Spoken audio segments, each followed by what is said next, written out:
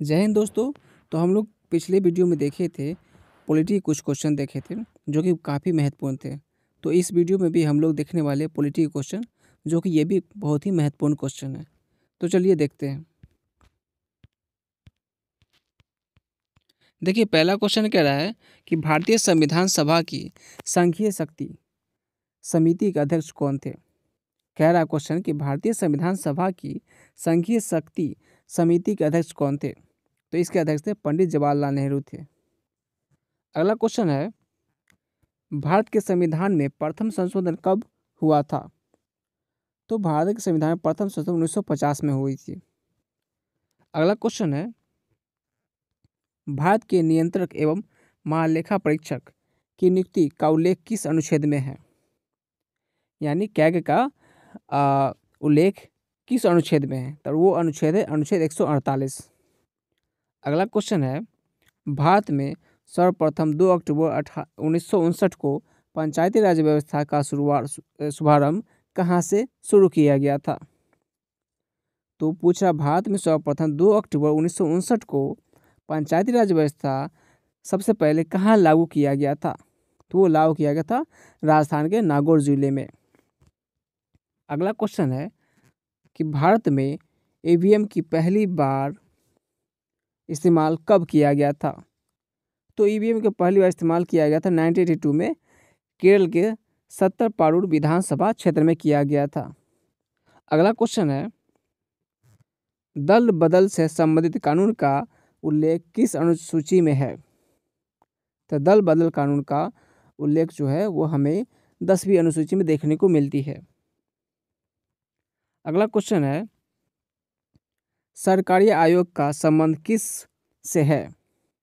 सरकारी आयोग का संबंध किससे है? तो इनका संबंध केंद्र और राज्य संबंधों से है। अगला क्वेश्चन है कि राज्यसभा कम भंग की जा सकती है। तो राज्यसभा को भंग कभी नहीं किया जा सकता, क्योंकि ये एक स्थायी सदस्य है। कैसा सदस्य है? ये स्थायी सदस्य है, यानी परमानेंट सदस्य है ये। अगला क्वेश्चन है कि लोकसभा को कौन भंग कर सकता है?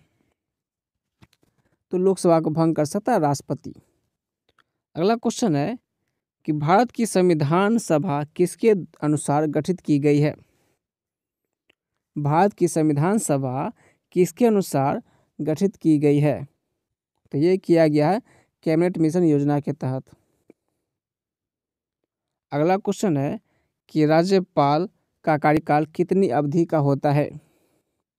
तो राज्यपाल का पद बता दे कि इनका कोई कार्यकाल फिक्स नहीं रहता है।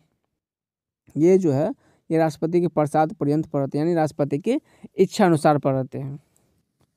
अगला क्वेश्चन है कि संविधान के किस अनुच्छेद के आधार पर देश में वित्तीय पात की घोषणा की जा सकती है? क्वेश्चन है कि संविधान के किस अनुच्छेद के आधार पर देश में वित्तीय आपात की घोषणा की जा सकती है? तो वो अनुच्छेद है, अनुच्छेद 360 के तहत जो है, वो वो जो है वित्तीय आपात की घोषणा की जा सकती है। लेकिन अभी तक भारत में वित्तीय आपात की घोषणा मतलब अभी तक नहीं लगी है। अगला क्वेश्चन है कि भारत के राष्ट्रपति पद पर निर्वाचित होने के लिए किसी व्यक्ति की न्यूनतम आयु कितनी होनी चाहिए? तो उनकी आयु होना चाहिए, कम से कम पैंतीस वर्ष होना चाहिए। अगला क्वेश्चन है, राष्ट्रपति राज्यसभा में कितने सदस्यों को मनोनीत करते हैं? तो वो करते हैं, बारह सदस्यों को मनोनीत करते हैं। अगला क्वेश्चन है, यदि प्रधानमंत्री या कोई अन्य मंत्री सदन का सदस्य नहीं है तो उसे पद पर बने रहने के लिए कितने दिनों के अंदर संसद का सदस्य बनना आवश्यक होती है? तो उनको छः माह के अंदर संसद का सदस्य बनना आवश्यक होता है। अगला क्वेश्चन है कि भारतीय सेनाओं का सर्वोच्च सेनापति कौन होता है? तो वो होते हैं राष्ट्रपति होते हैं, भारत के राष्ट्रपति होते हैं। अगला क्वेश्चन है कि अब तक भारत के संविधान की उद्देशिका यानी प्रस्तावना में कितनी बार संशोधन क्रिया किया जा चुका है। तो ये किया है, सिर्फ़ एक बार ही किया गया है। अगला क्वेश्चन है कि संसद के संयुक्त बैठक की अध्यक्षता कौन करता है? तो संसद संयुक्त संयुक्त बैठक की अध्यक्षता करता वो लोकसभा अध्यक्ष करते हैं। अगला क्वेश्चन है,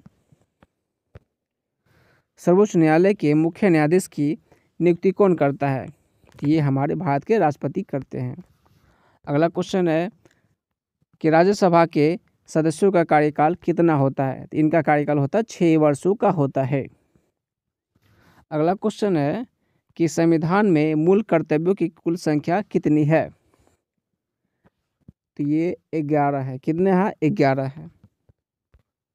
अगला क्वेश्चन है कि भारतीय संघ का मंत्रिपरिषद किसके प्रति सामूहिक रूप से जिम्मेदार होता है? तो वो होता है लोकसभा के प्रति जिम्मेदार होता है। अगला क्वेश्चन है कि भारतीय नागरिकों को प्राण एवं दैहिक स्वतंत्रता का संरक्षण किस अनुच्छेद के द्वारा प्रदान किया गया है? तो वो अनुच्छेद है, अनुच्छेद इक्कीस के तहत। अगला क्वेश्चन है कि वयस्क मताधिकार की आयु सीमा इक्कीस वर्ष से घटाकर अठारह वर्ष किस संविधान संशोधन अधिनियम के द्वारा किया गया है? तो वो अधिनियम था, इकसठवा संविधान संशोधन अधिनियम 1989 को जो है, ये मताधिकार की आयु जो इक्कीस वर्ष से घटाकर अठारह वर्ष कर दिया गया था। अगला क्वेश्चन है, बावनवा संविधान संशोधन अधिनियम किससे संबंधित है? ये संबंधित है, दल बदल कानून से संबंधित है।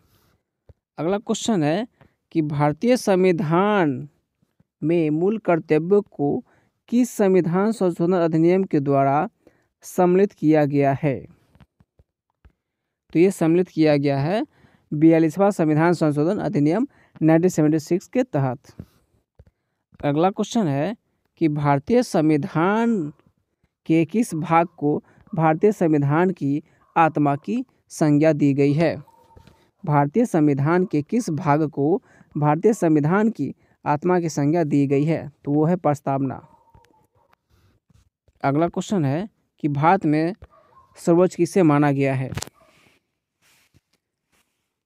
तो भारत में सर्वोच्च माना गया, संविधान को माना गया है। अगला क्वेश्चन है कि देसी रियासतों को भारतीय संघ का अंग बनाने में किसने सबसे महत्वपूर्ण भूमिका अदा की थी? तो वो अदा किए थे सरदार वल्लभ भाई पटेल और बीपी मेन ने की थी। अगला क्वेश्चन है कि राष्ट्रपति के निर्वाचक मंडल में कौन कौन शामिल होते हैं?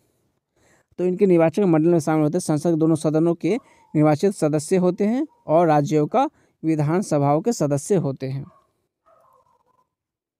अगला क्वेश्चन है कि हाउस ऑफ़ द पीपल को लोकसभा का नाम किस वर्ष दिया गया था? तो ये दिया गया था उन्नीस सौ चौवन में। तो दोस्तों, आज का वीडियो यहीं पे समाप्त होती है। फिर मिलते हैं अगले वीडियो में।